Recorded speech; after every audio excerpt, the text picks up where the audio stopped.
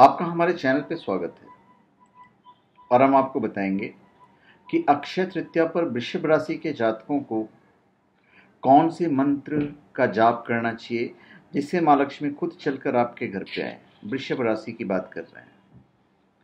और ये आपको अक्षय तृतीया के दिन करना है। अक्षय तृतीया इस पर 18 अप्रैल 2018 को है।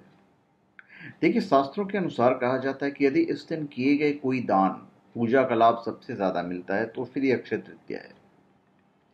ज्योतिष शास्त्र के अनुसार हम आपको वृषभ राशि के जातकों का कौन से उपाय का पालन करना चाहिए, कौन सा जाप करना चाहिए, ये हम आपको बताने चाह रहे हैं। ज्योतिष शास्त्र में कई विशेष मंत्र हैं, जिससे माँ लक्ष्मी प्रसन्न होती है। हम आपको जप की विधि बता देते हैं और फिर आपको मंत्र बता देते हैं। माँ लक्ष्मी की पूजा आपको रात्रि को करना है। आठ बजकर आठ मिनट के बाद शुरू करनी है। उसके पश्चात माँ लक्ष्मी के मंत्रों का उच्चारण करना है। मंत्र हम आपको बता देंगे।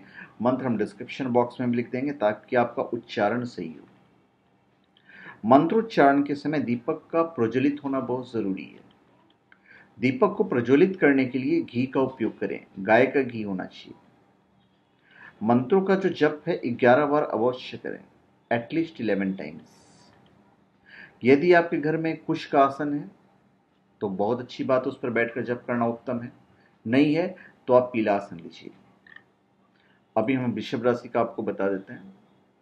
जब माला से इस राशि के जातक इस मंत्र का जाप करें, जो मैं आपको बता रहा हूँ। मंत्र है, ओम एम क्लिम शिम ओम एम क्लिम शिम ये वृषभ राशि को करना है। आप कमलगट्टे की माला से कीजिए जब।